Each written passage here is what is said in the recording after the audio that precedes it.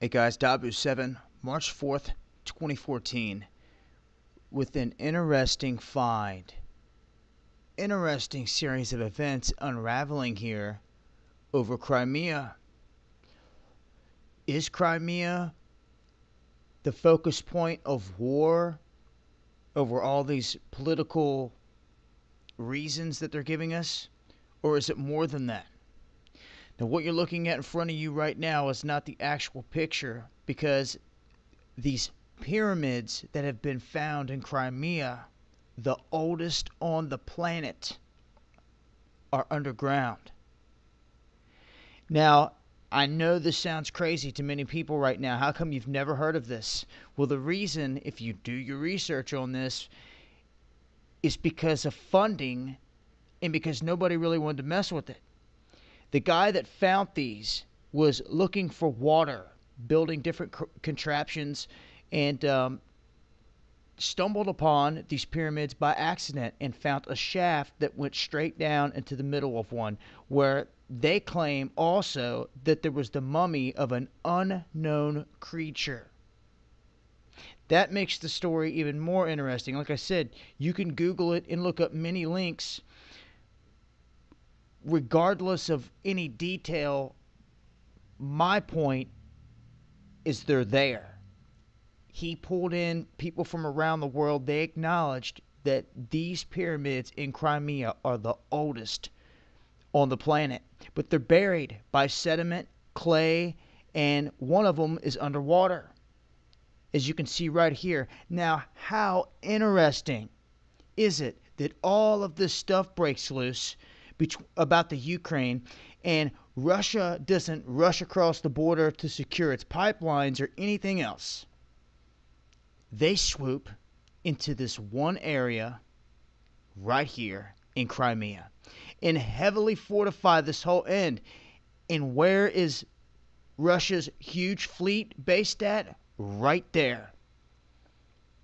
This is the shaft that leads down to the top of this pyramid. They said that it's got a truncated top, uh, kind of like a Mayan pyramid, but the outside shaped, not stepped, but slanted like a regular pyramid.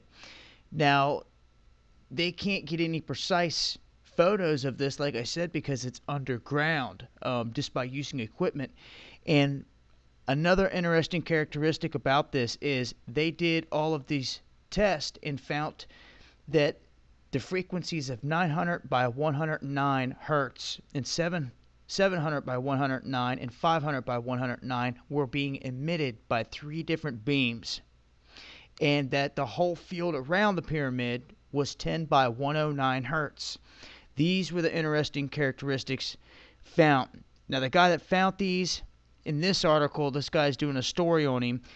Um, he touches on it from you know an outside perspective and gives his honest opinion that they're there, but he also devils in some of the claims that like this guy that found them right here says that there was 30 some pyramids found all all across Crimea, but these were of the most significant right here in this region. Now all of this information is just mind blowing. You can't make this stuff up. Here, here we have World War III about to break loose, and you want to tell me that all of a sudden the world's oldest pyramids are sitting right at the heart of this? And you've got more Russian troops centered down here defending this whole block than anywhere else. They've got some posts up here by the border, but they are hunkered in down here around this it's just an interesting observation to say the least. And I'm going to tell you this: I know soldier buddies straight up that were in Iraq and came came back and have told me that they pulled things and dug things out of that desert in Iraq that are not supposed to be known by man.